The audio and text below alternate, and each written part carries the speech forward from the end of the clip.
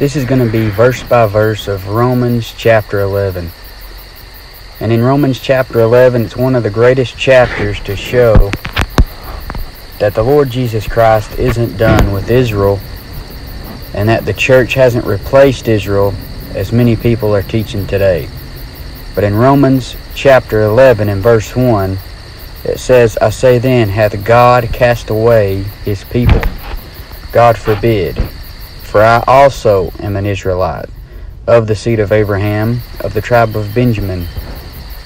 So this is Paul's talking, and he says, I also am an Israelite. And then he says, Has God cast away his people? And his people is obviously a reference to Israel. Because Paul goes on to say, For I also am an Israelite of the seed of Abraham, of the tribe of Benjamin. God isn't done with Israel. Although the Jews rejected Jesus Christ, uh, they they rejected their Messiah. They don't believe that He is Lord and Savior today, and they're doing a lot of wicked things. And the Bible says in Acts 13:46 it says then Paul and Barnabas waxed bold and said it was necessary that the word of God should first have been spoken to you but seeing ye put it from you and judge yourselves unworthy of everlasting life lo we turn to the Gentiles. And Paul said in Acts 18:6 after the Jews rejected Jesus again he said from henceforth I will go into the Gentiles so, after they rejected the Lord Jesus Christ, God stopped dealing with the Jews. There's still Jews getting saved, of course, but as a whole, for the most part, He's not dealing with the Jews. And we're in what's called the church age. And then when the church leaves, He's going to go back to dealing with the Jews again. But the Jews are blinded temporarily for this reason. And for this time we are living in today, the Lord is dealing primarily with Gentiles. And when a Jew or Gentile believes the gospel of the death, burial, and resurrection, they are put into the body of Christ. And spiritually speaking, once someone is put into the body of Christ, they are neither Jew nor Greek. So some believe that the church, which is the body of Christ, has replaced Israel, but that's obviously not true. And notice that Paul identifies as being a Jew physically even after he's saved. And once the body of Christ leaves, like I said, the Lord will once again be dealing with the Jews. Now Romans 11:2 it says, God hath not cast away his people which he foreknew. What ye not what the scripture saith of Elias, how he maketh intercession to God against Israel, saying, Lord, they have killed thy prophets, and have digged down thine altars, and I am left alone, and they seek my life. So notice that Elijah made intercession against Israel, and not for them, because they killed the prophets, and digged down thine altars. So God's people were contrary to him. They killed his prophets, they digged down his altars, and sought the life of Elijah. And today in the church age, the church is in apostasy, following in the same steps of Israel. And people in the church don't want to hear sound doctrine from preachers. They have heaped to themselves teachers having itching ears. Uh, they don't like sound Bible preachers. Now Romans 11:4, but what saith the answer of God unto him? I have reserved to myself 7,000 men who have not bowed the knee to the image of Baal. Elijah said, I am left alone in Romans 11:3. But is he left alone? In Romans 11:4 it says that the Lord has reserved to himself 7,000 men who have not bowed the knee to the image of Baal. He thought he was alone. And God's answer to him was, I have reserved to myself 7,000 men. So maybe you are living in an area that doesn't have many Christians who are Bible believers, and many times you think to yourself, um, where are all the Bible believers? I'm just all alone here. Nobody else believes like this, and I just have to be a lone ranger here. But the Lord has Bible believers scattered around. You just got to look for them. There's scattered Bible believers in every state. Probably even in your town, you just don't know them. And one could pray that the Lord would send them someone to fellowship with. In Romans 11:5 it says even so then at this present time also there is a remnant according to the election of grace. So there are still Jews getting saved today by grace through faith in Jesus Christ. As it says even at this present time. So just because God is done with the Jews doesn't mean or just because he's temporarily done with the Jews doesn't mean that none of them are getting saved. And there is also going to be Jews who will believe in the time of Jacob's trouble, and they'll go into the kingdom with Jesus Christ. The Antichrist is going to sit in the holy place. This is called the abomination of desolation. Claim and he's going to claim to be God. This is going to happen in the middle of the tribulation, and the Jews are going to then know he is a fake and will then turn to the Lord Jesus Christ. Romans 11:6 And if by grace then is it no more of works. Otherwise grace is no more grace. But if it be of works then is it no more grace. Otherwise work is no more work. So if it is by grace then it is no more of works. And if a Jew chooses to believe the gospel and be saved then he can be saved by grace through faith if he chooses to stay under the law and rely on his works then he'll go to hell and that is true for both Jew and Gentile alike, because the Lord Jesus Christ died on the cross. He was the perfect sacrifice. And all we need to do is believe on Him and Him alone, not on any works. Now Romans 11:7 it says, What then? Israel hath not obtained that which he seeketh for, but the election hath obtained it, and the rest were blinded. So what's this saying? In three in, in verse 7 there are three groups. You see, Israel as a nation hath not obtained to that which he seeketh for. The election in the verse are the Jews chosen by God, they hath obtained it. And then you have the unbelieving Jews who are blinded. So you have Israel as a nation that hath not obtained that which he seeketh for. And then you have the election Jews chosen by God, and then you have the rest that are blinded. The Israel that hath not obtained it, as it says in Romans 11:7, couldn't obtain it because they were seeking righteousness by the works of the law. They were ignorant of God's righteousness and went about to establish their own righteousness. And then the election in verse 7 hath obtained it because they received Jesus Christ of their own free will and therefore had his righteousness imputed unto them. And then the rest that were blinded in verse 7 are those that rejected the Lord Jesus Christ and have therefore sent something similar to a strong delusion. As though be as it talks about in Second Thessalonians 2, God's got a little bit of a strong delusion on them. They've been blinded. You know, once you just continuously reject truth, the Lord will help blind you a little bit. Isaiah 29:10 says, "For the Lord hath poured out upon you the spirit of deep sleep, and hath closed your eyes, the prophets and your rulers, the seers hath he covered." See how the Lord has put upon them a spirit of deep sleep and closed their eyes, and the prophets and the rulers and the seers hath he covered. He'll take your preachers and won't show them anything else in the Bible. And that's what he's doing with a lot of churches that are blinded to the truth. They're blinded to the truth about sin. They're blinded to the truth about, you know, Bible doctrine because they they'd rather have a teacher who just gives them what they want, a positive message, and the preacher's changing the Bible. He's up there correcting the book, and God just shuts the door on giving him any more light. But since the Jews rejected Jesus Christ and all his miracles he did before them, and all the apostles' signs and miracles performed before their very eyes, the Lord has sent a deep sleep and a covering of the eyes on the Jews for the most part.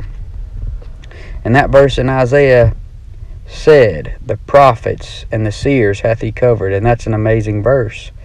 Israel isn't going to have a true prophet of God sent to them again until the time of Jacob's trouble. And they may have some men with a burden for them now, but when it comes to a, true prophet being sent to them, as it was in the Old Testament and with the apostles, They don't see it until Moses and Elijah come back as the two witnesses and the 144,000 in the time of Jacob's trouble. But now Romans 11:8 According as it is written, God hath given them the spirit of slumber, eyes that they should not see, and ears that they should not hear unto this day. So those blinded Jews have been given the spirit of slumber. They are asleep spiritually. They have the wool pulled over their eyes, and they can't hear. As the church does today, Christians are asleep. And that's what Paul says to us in Ephesians 5:14. He says, "Wherefore he saith, Awake thou that sleepest, and arise from the dead, and Christ shall give thee light." And many people believe we are in the Laodicean church period. And the Lord said, Anoint thine eyes with eye salve that thou mayest see. People are blinded to the truth. Uh, Romans 3:18 I counsel thee to buy of me gold tried in the fire that thou mayest be rich and white raiment that thou mayest be clothed and that the shame of thy nakedness do not appear, and anoint thine eyes with eye salve, that thou mayest see. The church needs to have their ears open to the Word of God, and their eyes open, and real Bible preachers they need to have instead of these people who are just correcting God's Word. But the church is in apostasy. Romans 10:17 says, "So then faith cometh by hearing, and hearing by the Word of God. You need to hear the Word of God. A person who gets saved needs to hear the gospel. And after you get saved, you still need to hear the gospel and the Word. And since the Jews stayed in rejection of the Lord Jesus Christ, He furthered their blindness. And the more a person rejects light, the more blind they'll get. Now Romans 11:9 it says, "And David saith, Let their table be made a snare and a trap and a stumbling block and a recompense unto them." So Jesus Christ, who came to them to save them, ends up being their stumbling block. While he could be your savior and your best friend, he becomes your stumbling block if you reject him. Now Romans 11:10 says, "Let their eyes be darkened, that they may not see, and bow down their back always."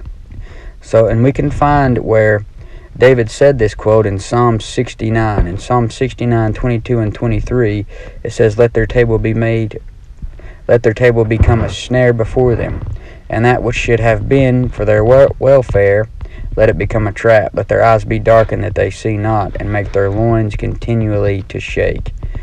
When a person continues to reject the light that God has given them, they deserve for their table to be made a snare. A table is a place where people fellowship. And Israel had fellowship with devils. They wanted to drink the cup of devils. And 1 Corinthians 10:21 says, "You cannot drink the cup of the Lord and the cup of devils." You cannot be partakers of the Lord's table and of the devils and of the table of devils. And David said, Let their eyes be darkened, that they may not see. The Lord has used the devil to blind the minds of them which believe not as it says in 2 Corinthians 4 4, in whom the God of this world, that's the devil, hath blinded the minds of them which believe not, lest the light of the glorious gospel of Christ, who is the image of God, should shine unto them. Israel has had false gods, and they claim they seek the true God, yet they reject Jesus Christ. Romans 11:11 11, I say then, have they stumbled that they should fall? God forbid, but rather that through their fall, salvation is coming to the Gentiles for to provoke them to jealousy. So salvation has come to the Gentiles through the Lord Jesus Christ to make the Jews jealous. In Romans 11:12, now if the fall, fall of them be the riches of the world, and the diminishing of them the riches of the Gentiles, how much more their fullness? For I speak to you Gentiles, inasmuch I am the apostle of the Gentiles, I magnify mine office. You see, Paul is the apostle to the Gentiles. That doesn't mean he doesn't witness to Jews, obviously. But primarily, he went to the Gentiles. While Peter was primarily to Jews. That doesn't mean he didn't witness to Gentiles. Now, verse 14, if if by any means I may provoke to emulation them which are my flesh, and might save some of them. So Paul is provoking to emulation the Jews through the Gentiles. He's provoking them to emulation. He's making them jealous because he wants to save some of them. The Jews hate the Gentiles. Now, verse 15 For if the casting away of them be the reconciling of the world, what shall the receiving of them be but life from the dead? If the first fruit be holy, the lump is also holy. And if the root be holy, so are the branches. And if some of the branches be broken off, and thou being a wild olive tree wert grafted in among them, and with them partakest of the root and the fatness of the olive tree, boast not against the branches. But if thou boast, thou bearest not the root, but the root thee. Wilt thou say then the branches were broken off that I might be grafted in? Well, because of unbelief they were broken off, and thou standest by faith, be not high minded, but fear. Natural branches, he could also spare not thee, as the verses say. Uh, Romans 11 19 through 20 says, Thou wilt say then, The branches were broken off, that I might be grafted in. Well, because of unbelief they were broken off, and thou standest by faith, be not high minded, but fear. So Gentiles shouldn't be high minded. They shouldn't be wise in their own conceits and think that they the church replaced Israel. Romans 11:21 For if God spared not the natural branches, take heed lest he also spare not thee. If the Lord didn't spare his chosen nation of people, what makes you think he will spare Gentile nations after the body of Christ leaves? So you see, these verses aren't about individual salvation. They're about groups of people. And after the body of Christ leaves, which is all saved people, after we leave, the Gentiles will be broken off, just like the Jews were. The Gentiles, generally speaking, will be blind in the tribulation, just like the Jews are blind today. Romans 11:22 says, "Behold, therefore, the goodness and severity of God on them which fell, severity, but toward thee goodness, if thou continue in his goodness, otherwise thou also should be cut off. So you see, God has two sides. He has a side that is severe, that's a side of wrath, but he also has a side of goodness.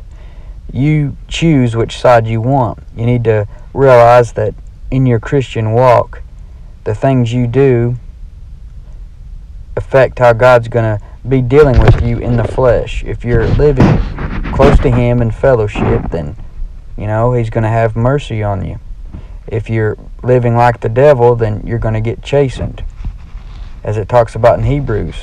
And notice Paul says, If thou continue in His goodness, otherwise thou shalt be cut off. Just remember, this isn't about individual salvation. It's not saying you can lose your salvation, it's about groups of people. And as long as Gentiles keep reading the Bible and accepting Jesus Christ, then he's going to keep dealing with them. But you know, when the body of Christ leaves, he's going to go back dealing with Israel. And right now you already see that the church itself is in a falling away. It's in apostasy. Romans 11, 23 through 24 says, And they also, if they abide not still in unbelief, shall be grafted in for God is able to graft them in again. For if thou wert cut out of the olive tree, which is wild by nature, and wert grafted contrary to nature into a good olive tree, how much more shall these, which be the natural branches, be grafted into their own olive tree? Notice that God is able to graft believing Israel in again. Because if we were cut out of a wild olive tree and grafted into a good olive tree, then the natural branches, which is unbelieving Israel, could believe and easily be grafted back in. Just because God put away Israel doesn't mean they can't be restored. Now Romans 11:25 says, "For I would not, brethren, that ye should be ignorant of this mystery, lest ye should be wise in your own conceits, that blindness in part has happened to Israel until the fullness of the Gentiles be come in." So what do we get out of this verse? someone who thinks that Israel can't get back right with God and be restored, this verse says that person is ignorant and conceited. We also see that blindness in part has happened to Israel, in part because some are still being said today. However, as a nation, they are blinded. and they will be blind until the fullness of the Gentiles be come in at the end of the tribulation. Romans 11:26 says, "And so all Israel shall be saved, that is, as it is written, there shall come out of Zion the deliverer, and shall turn away ungodliness from Jacob." If the church replaced Israel, then according to this verse, we haven't yet been saved. Notice it says all Israel shall be saved, but we're already saved. We presently possess salvation. And when the surviving Jews see the Lord Jesus Christ coming back in his glorified body at the second advent, they will believe on him. As it says, and so all Israel shall be saved. And if you look at Zechariah 12, 10 through 14, it says, And I will pour upon the house of David and upon the inhabitants of Jerusalem the spirit of grace and of supplications. And they shall look upon me whom they have pierced, and they shall mourn for him, as one mourneth for his only son, and shall be in bitterness for him, as one that is in bitterness for his firstborn. In that day shall there be a great mourning in Jerusalem, as the mourning of Hadadrimmon in the valley of Megiddon. And the land shall mourn, every family apart, the family of the house of David apart, and their wives apart, the family of the house of Nathan apart, and their wives apart, the family of the house of Levi apart, and their wives apart, the family of Shimei apart, and their wives apart, and all the families that remain every family apart and their wives apart. So all that remain of Israel will believe on Jesus Christ. And Romans 11:27 says, "For this is my covenant unto them, when I shall take away their sins." At that time God will establish his new covenant with his people. Notice it says, "When I shall take away their sins." God has already given the new covenant to the church we can get in when we believe the gospel, but Israel as a nation hasn't yet got in on this new covenant. The church, if the church is Israel, then according to this verse, we wouldn't have our sins taken away because it says, For this is my covenant unto them when I shall take away their sins. I've already got my sins taken away. I'm not Israel. Hebrews 8, 8 through 12 says, For finding fault with him, he saith, Behold, the days come, saith the Lord, when I will make a new covenant with the house of Israel and with the house of Judah, not according to the covenant that I made with their fathers in the day when I took them by the hand to lead them out of the land of Egypt, because they continued not of my covenant, and I regarded them not, said the Lord. For this is the covenant that I will make with the house of Israel after those days, saith the Lord. I will put my laws into their mind, and write them in their hearts, and I will be to them a God, and they shall be to me a people. And they shall not teach every man his neighbor, and every man his brother, saying, Know the Lord. For all shall know me, from the least to the greatest. For I will be merciful to their unrighteousness, and their sins and their iniquities will I remember no more. So that's that new covenant. And Romans 11:28 says, "And concerning the gospel, they are enemies for your sakes, but as touching the election, they are beloved for the Father's sakes." So if the church replaced Israel, then that's calling us enemies to the gospel. The church isn't an enemy to the gospel, but the Jews are. The Jews are beloved enemies. They are enemies to the gospel of the Lord Jesus Christ, and they um, they don't believe that Jesus Christ is God. So they aren't beloved because of any great thing they're doing. They're beloved for the Father's sake. The fathers being Abraham, Isaac, and Jacob.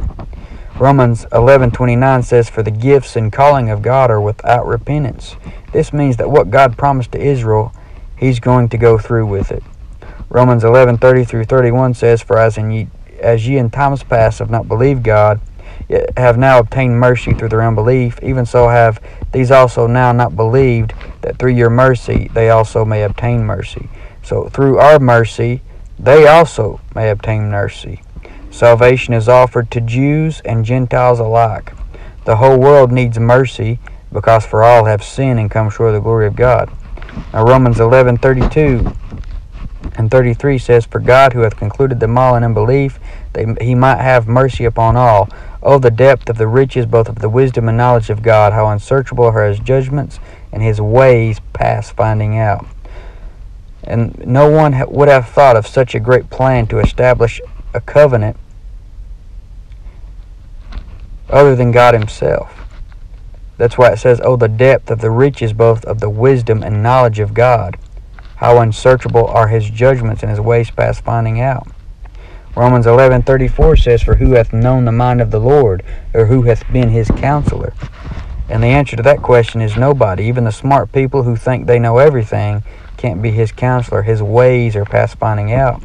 Isaiah 55:8 says, "For my thoughts are not your thoughts, neither are your ways my ways," saith the Lord. Another question in Romans 11:35, "Or who hath first given to him, and it shall be recompensed unto him again?" The question is, who has given something to God that was more than he had given to them already, making him in debt to them? The answer again is nobody, because if if all God did for you was give you Jesus Christ, then that's enough. Then you can't ever repay him. You can't ever give him something greater. Romans 11:36 For of him and through him and to him are all things, to whom be glory forever. Amen. So all things belong to God. 1 Corinthians 8 6 says, But to us there is but one God, the Father, of whom are all things, and we in him, and one Lord Jesus Christ, by whom are all things, and we by him. When it's all wound up, it will be God who gets glory and no one else. So Paul says, To whom be glory forever. Amen.